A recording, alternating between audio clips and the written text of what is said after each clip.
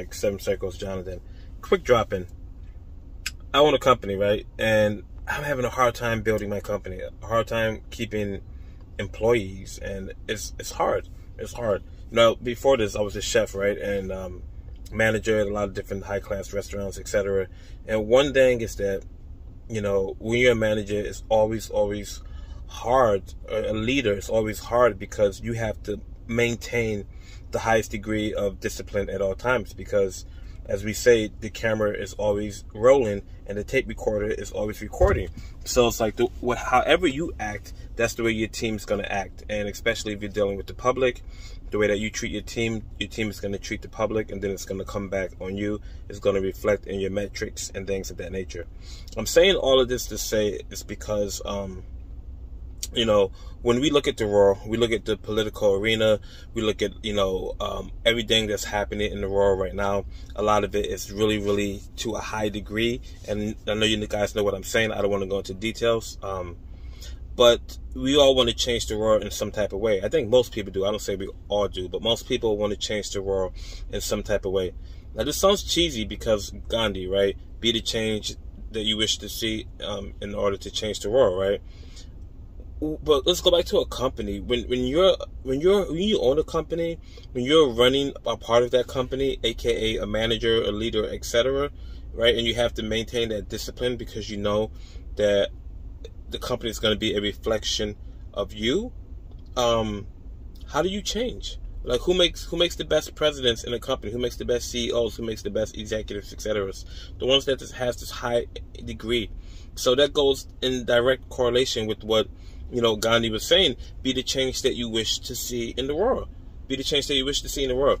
Because what is a company? A company is a group of people that have a common goal and interest, and they're all working actively towards that goal. And other people have different positions. Some people have, you know, the back position. Some people are just tightening the bolts. Some people are doing the paperwork. Some people are leading the way. But they all have a common goal on where they want to go right? And that's what a company is. Well, it's the same thing with an organization, right? It's the exact, exact same thing.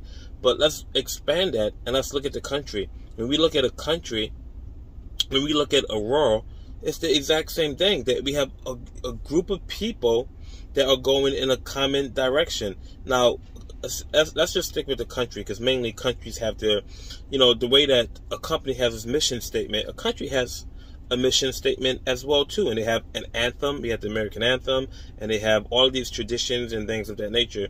And, you know that's in a nutshell that's what makes a company a country or a company but a country in this case that's what makes it up. So there's a lot of stuff that's going on right now and i don't like it and i know you guys don't like it. And i just got uh, a reading from my sister. I'll post the video pretty soon but it's quite interesting. And she was telling us what to expect for 2022 well, what I'm saying is that we don't need to worry about them. We don't need to worry about them. We need to focus on us. Because if we can change and if we can be disciplined, then things are naturally going to shift and change around us. Things are naturally going to shift and change around us. And we focus on us and don't focus on them and they, right? Because we always talk about how they're doing this, they're doing that, they're doing this. We focus on us.